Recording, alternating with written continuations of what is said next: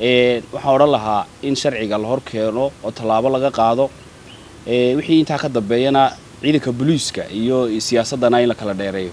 Waxay ahayd inuu ciidankaa tallaabo ka qaado maadaama ay siyaasad galeen siyaasaddii ciidankuna ay kala caagan yihiin. Waxaad arkaysaa taliyihii ciidanka booliiska oo horboodaya oo ama safarkiisa qayb ka ah.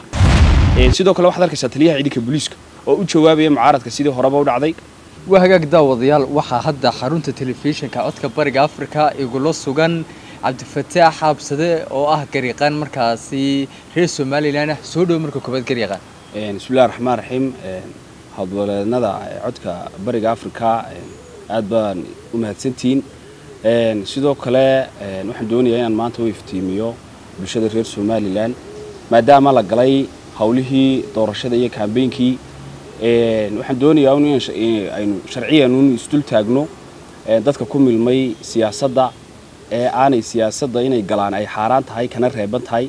Intaasun baynu doonaynaa maanta inaynu bulshada u iftiimino insha allah.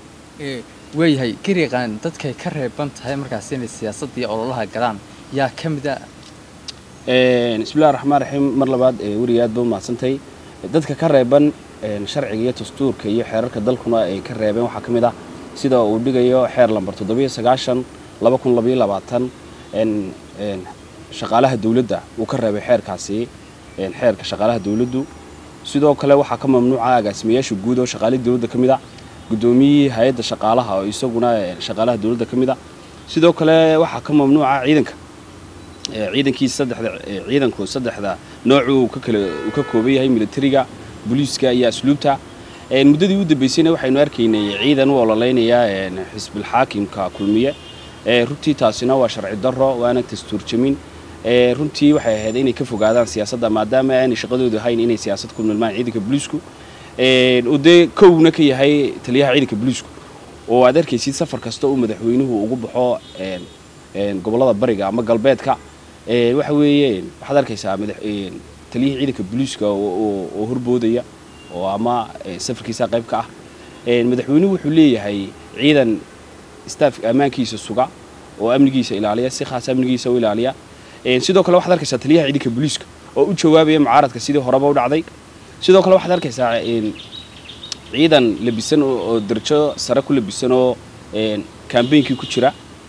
Runtii taasina xeerku wuu ka reebayaa in booliisku ay ku mulmaan siyaasadda sidoo kale waxaynu arkaynay guddoomiyaha hay'adda shaqaalaha oo isaguna kambeyn weyn kaga jira ololaha xisbilxaakimka kulmiye.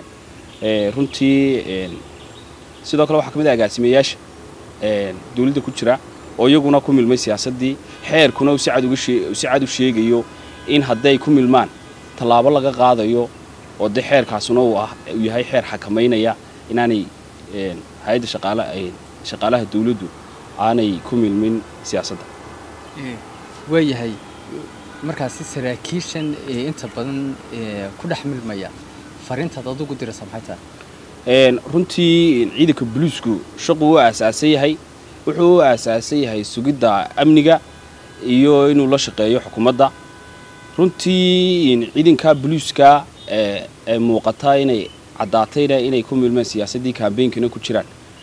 Runtii waxa weeye sharciyan ma bannaana waana sharci jebin shaqadoodiina maaha inay siyaasad ku milmaan ee waxay ahayd inay amniga sugaan kana shaqeeyaan sidii amniga loo sugi lahaa iyo xasiloonida dalka. Taliyaha ciidanka booliisku waxay ahayd inuu ciidankaa tallaabo ka qaado maadaama ay siyaasad galeen. Siyaasaddii ciidankuna ay kala caagan yihiin. Waxaan odhan lahaa in sharciga la hor keeno oo tallaabo laga qaado. Wixii intaa ka dambeeyana ciidanka booliiska iyo siyaasaddana in la kala dheereeyo weli waxaa magaalada hargeysa ku xidhan xildhibaan ka mid a golaha wakiilada oo la yidhahdo xildhibaan maxamed abiib. Waxaana loo ogol yahay dastuurka somalilan sheegay in muddo afar laatan saacadood la horgeeyo qofka markaasi maxkamad weli xasaalan isagoo le maxkamad lama horgeynin bal sharci ahaan xildhibaankaasi xidhan maxay tahay? Runtii waa su'aal aada u fiican. Runtii sharcigu dastuurkeenna ugu sarreeya dastuurkeenna wuxuu xarimay uu mamnuucay in la xidho xildhibaan xasanad leh huwan mar haddaanu faldembiyeed gacanta kula jirin oo aanay golihiisana xasanadii ka qaadin. Runtii waa sharci jebin waxaad arkaysaa dad ku doodaya maxkamad lama keenin. Runtii ilaa iminka sharcigu muu sheegin maxkamad la horkeenayo maxamed abiib dee maxkamadaha la horkeenaya xildhibaankuna waa maxkamad markaa samaysmayso oo waa maxkamad dastuuriya baa la dhahaa oo garsoorayaal maxkamadda sare ka mida iyo baarlamaanka ay ka yimaadaan. Taasaa u samaysanata qaab maxkamadoodoo kale runtii in maxkamad la keenaba may ahayne mar haddii baarlamaankii uu ka tirsanaaye golihii wakiiladu ay diideen xasanadka qaadistiisii waxay ahayd in la aqbalo diidmadaa ay diideen golaha wakiiladu oo ay meel marto diidmadaa ay diideen. In la sii daaya bay ahayd. Runtii maxamed abiib waan ka xumay inuu xidhan yahay muddo shan iyo toban cishaa. Golihii weliba isagoo diiday in ay xasanadii ka qaadaan. Markaa sharciyan mar haddii xukuumaddu ka dhaga adagtay soo jeedintii ahayd inay diideen golihii wakiiladu ka tirsanaa maxamed abiib inay xasanada ka qaadaan waxaa ka dhalanaysa un dee sharci jabin iyo dastuur jabin. Dastuur jabintaana waxaa looga arooraa un dee waxa waa xilka xayoobin iyo maamuska xayoobin. Markaa dee madaxweynaha ay noqonaysaa in xilka iyo maamuuskaba in laga xayoobiyo sharciyan iyo sida dastuurku dhigaya maasha allah soo dhowaada la jaanqaad shirkadda telesom. Maxmil waxay kuu diyaarisay adeegga internetka ay faibar optiga kaasoo xawaarihiisu kala go' lahayn. Waa guji waa ishaa biligteeda. Intuu soo gudlanayo hadalba gam. Hagarla'ii ku isticmaal sochial midiyaha kuna daawo wararka cayaaraha iyo onlaine geemiska haddaba maxmil soo gasho gurigaaga xafiiskaaga iyo goobtaada shaqo. Fadlan nagala soo xidhiidh nambarka gaaban